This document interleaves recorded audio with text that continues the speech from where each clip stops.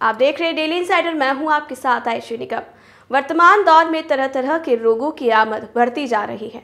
ये रोग न केवल बड़े, बल्कि बच्चों को भी अपना निशाना बना रहे हैं।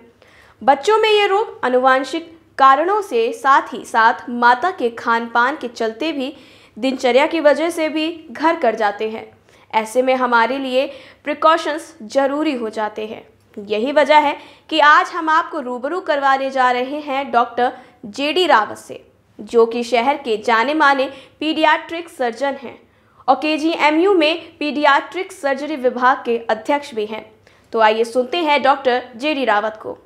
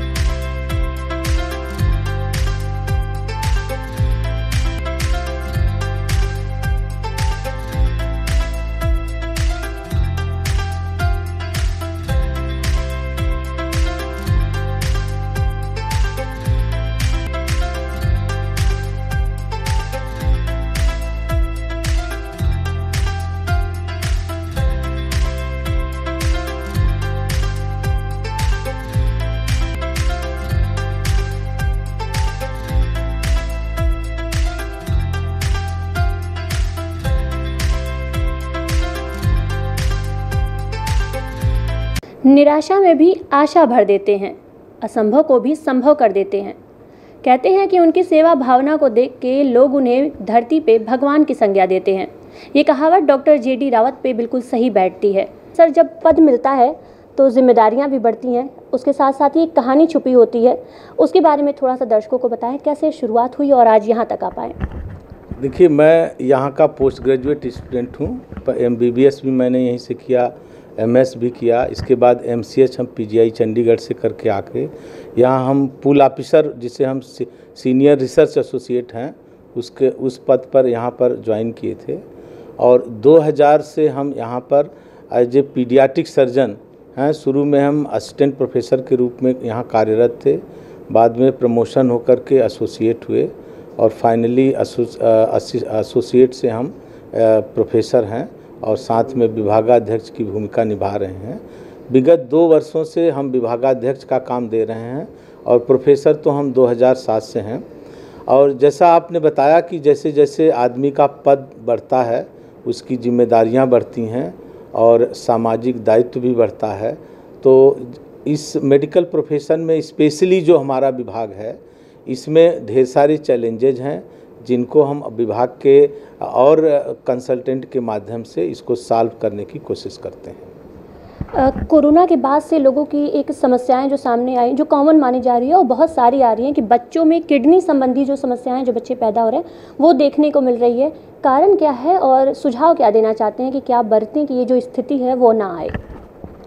देखिए जो आपने सवाल किया है कि कोविड के बाद से बच्चों में किडनी की प्रॉब्लम आ रही है ऐसा तो कम है, लेकिन मैं आपको बता दूँ, बच्चों में कई ऐसी पैदाइशी किडनी की विकृतियाँ होती हैं, जिसमें कि कई बच्चे ऐसे होते हैं जिनमें गुर्दा खराब होता है।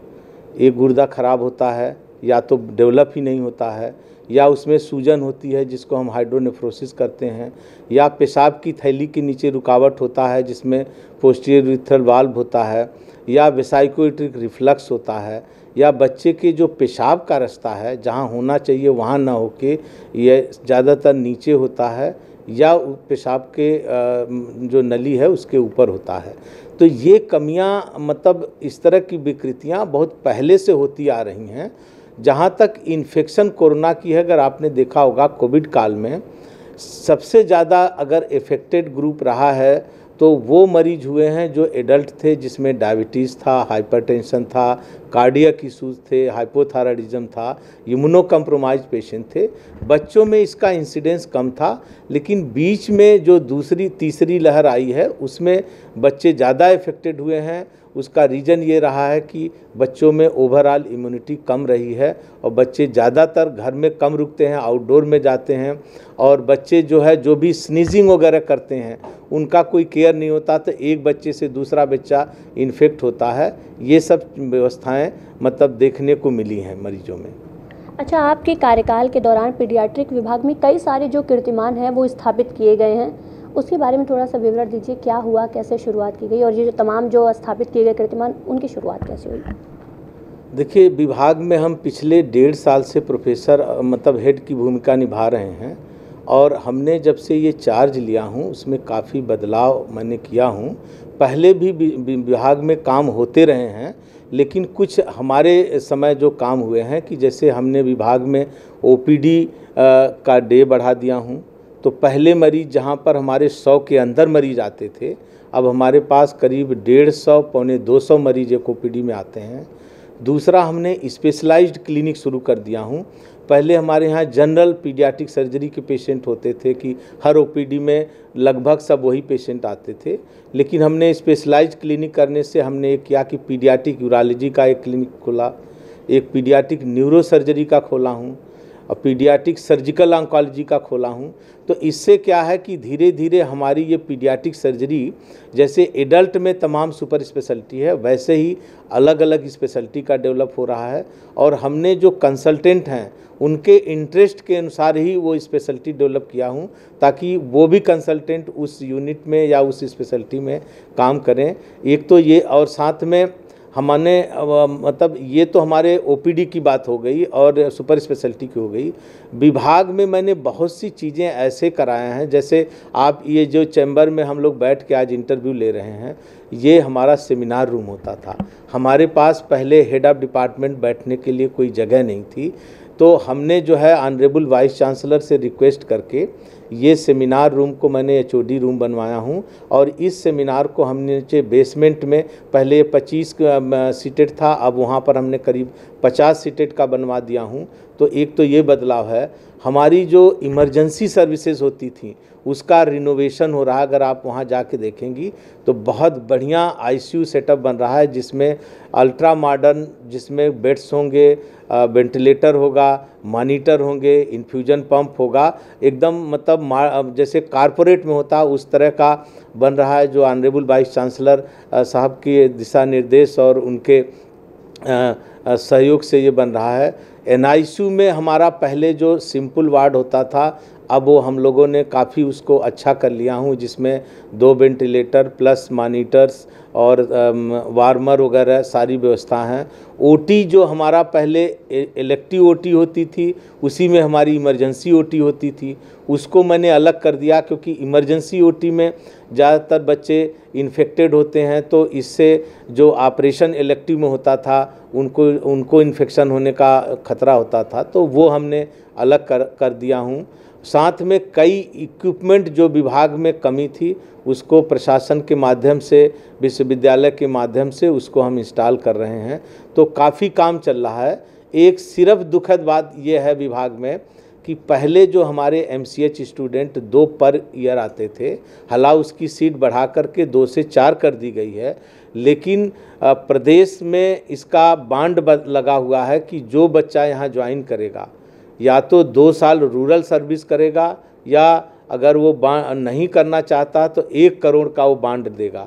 इसके तहत हमारे पास इस समय रेजिडेंट मैन पावर नहीं आ रहे हैं और प्रशासन से और शासन से मेरा बार बार अनुरोध होता है कि ये बांड पीडियाट्रिक सर्जरी के लिए हटा दिया जाए, क्योंकि ये बांड पहले राजस्थान में भी था, उन्होंने हटा दिया, अब वहाँ भी कैंडिडेट आने लगे हैं। तो ये मैं आपके चैनल के माध्यम से, आपसे वार्ता के अनुसार मैं प्रदेश सरकार से पुनः अनुरोध करूँगा कि ये जो कमियाँ हैं, इसको दूर किया जाए, ताकि रेजिडेंट मैन पावर यहाँ आने लगे, और प्रदेश की जो बच्चों की जन्मजात विकृतियों का जो विभाग बहुत पुराना है हमारा ये करीब हो गया करीब 35-40 साल पुराना विभाग है और यहाँ पर मरीजों की सेवाएँ यथावत चलती रहें ये मेरा अनुरोध है। अच्छा आप आईएमए के अध्यक्ष भी हैं चिकित्सा क्षेत्र में क्या क्या बदलाव हुए उसे आप किस तरीके से देखते हैं और क्या कहना चाहते हैं उस पर देखिए चिकित्सा क्षेत्र में तो काफ़ी बदलाव हुए हैं गवर्नमेंट पहले जहाँ एमसीआई थी अब उसको एनएमसी कर दिया है नेशनल मेडिकल कमीशन कर दिया है। और उसमें भी काफ़ी इन्होंने बदलाव ये किए हैं कि एक तो आपने देखा होगा कि हर प्रदेश के हर ज़िले में लगभग एक मेडिकल कॉलेज ला रहे हैं ये अच्छी बात है। और वहाँ पर थोड़ा सा अभी वीकनेस है कंसल्टेंट को लेकर के और पैरामेडिकल को लेके बट गवर्नमेंट इसके लिए चिंतित है आ, आने वाले समय में उसको पूरा करेगी। जहाँ तक पठन पाठन की बात है तो प्रदेश सरकार जो है या जो एनएमसी है, उसमें काफ़ी मॉडिफिकेशन हुए हैं। अब जो नए बच्चे हमारे यहाँ एडमिट हो रहे हैं एमबीबीएस में, उनका क्यूरिकुलम में काफ़ी बदलाव किया गया है और वो जो क्यूरिकुलम में बदलाव है, वो सामाजिक दृष्टिकोण से बहुत ही अच्छा है क्योंकि उसमें मेंटर मेंटी प्रोग्राम लाया गया है सोशल एडाप्टेशन का प्रोग्राम लाया गया है फैमिली एडाप्टेशन का प्रोग्राम लाया गया है। बच्चों को रूरल एक्सपोजर कराया जा रहा है ताकि ये बच्चे रूरल एरिया में जाएँ, मरीजों को देखें, मरीजों से इंटरेक्ट करें, उनके परिवार से मिलें और उनसे कैसे बात की जाती है। तो प्रोफेशनलिज्म के साथ साथ सोशल जानना बहुत ज़रूरी है, जो मेरे समझ से आज के दौर में बहुत ज़रूरी है। अक्सर आपने पेपर में मीडिया में सुना होगा कि जूनियर डॉक्टर या डॉक्टर की तीमारदार से लड़ाई झगड़े हो जाता है। तो इसलिए ये सब लाना बहुत ज़रूरी था। अब बच्चे एक्सपोज होंगे सोसाइटी में तो सबका दुख सुख एक दूसरे को समझेंगे और फिर उसको उसी ढंग से मैनेज करने की बात करेंगे। एक आखिरी सवाल आपसे करना चाहते हैं। राइट टू हेल्थ के विरोध में भी आईएमए विरोध कर रहा है लड़ाई कर रहा है। क्या मामला क्या है? किस चीज़ का विरोध जताया जा रहा है और सरकार से क्या चाहते हैं? देखिए ये बहुत अहम मुद्दा है जो आजकल बर्निंग चल रहा है। राजस्थान सरकार ने 21 मार्च को एक जियो निकाला है, जिसमें लिखा है right to health right to health जो जियो है, उनका ये कहना है कि जैसे हर मतलब प्रदेश के हर मतलब मनुष्य को या पर्सन को हेल्थ की सुविधा फ्री होनी चाहिए। ये गवर्नमेंट का मतलब करना चाहिए और ये पर्सन का राइट है। बहुत अच्छी बात है। और ये प्रदेश सरकार में जितने भी गवर्नमेंट हॉस्पिटल हैं, ये करते हैं और हम लोग भी करते आ रहे हैं। लेकिन जो प्राइवेट सेक्टर है, प्राइवेट सेक्टर लोग इसलिए करते हैं कि उसका दो पहलू है। एक पहलू तो ये है कि वो गवर्नमेंट के प्रेशर से फ्री रहना चाहते हैं और अपने ढंग से जो लीगल प्रैक्टिस है उसको करना चाहते हैं। और उसके जो नॉर्मल एक्सपेंसेस आते हैं, वो पेशेंट से बियर करते हैं। चाहे आप कहीं चले जाइए, अगर गवर्नमेंट के बनाए हुए प्रावधान है, जैसे सुलभ शौचालय है, अगर आप वहाँ, हम आप भी यूज़ करते हैं तो कुछ न कुछ शुल्क लगता है, वो देना पड़ता है। एग्जैक्टली वैसे ही उसी ग्राउंड पर हो रहा है। लेकिन गलहोज सरकार ने इस चीज़ को ध्यान में न रखते हुए उन्होंने राइट टू हेल्थ कर दिया है और उन्होंने कहा है कि सारे डॉक्टर इवन प्राइवेट वाले भी फ्री इलाज करेंगे और कोई मरीज़ को पैसा नहीं लेंगे। आकस्मिक सेवाएँ या इमरजेंसी सेवाएँ हैं, उसको भी देखेंगे। कोई इसका लेआउट नहीं है कि कितना पर पेशेंट वो फ़ीस देंगे और क्या क्या मतलब गाइडलाइन रहेगी। तो ऐसा कुछ भी नहीं है। इसके अलावा उन्होंने एक कमेटी भी बना रखी है कि अगर कोई, कमेटी में क्या है, ग्राम प्रधान भी हैं और सरकार के भी कुछ लोग हैं। और ऑलरेडी डॉक्टर जो है, उपभोक्ता फोरम से ऑलरेडी परेशान है कि कंज्यूमर फोरम उस पर लगाया गया है। साथ में एक कमेटी और बनाई गई है। तो वो लोग आपको मॉनिटर करेंगे। अगर आप में कोई कमी लगती है तो आपको पनिश किया जाएगा। तो इस तरह का जो ड्रकोनियन ला ले आए हैं, वो बहुत ही खतरनाक है पब्लिक के लिए भी पेशेंट और डॉक्टर के लिए। इसीलिए वहाँ के डॉक्टर चाबी लेकर के वहाँ के गवर्नमेंट को दे रहे हैं कि आप खुद चलाइए, हम नहीं चला पाएँगे। आपने कल देखा होगा कितनी ज़बरदस्त रैली राजस्थान में थी, इसका लोगों ने विरोध किया है। साथ में पूरे देश के लोगों ने सांकेतिक हड़ताल भी किया है ब्लैक रिबन पहन के तो ये बहुत गलत है।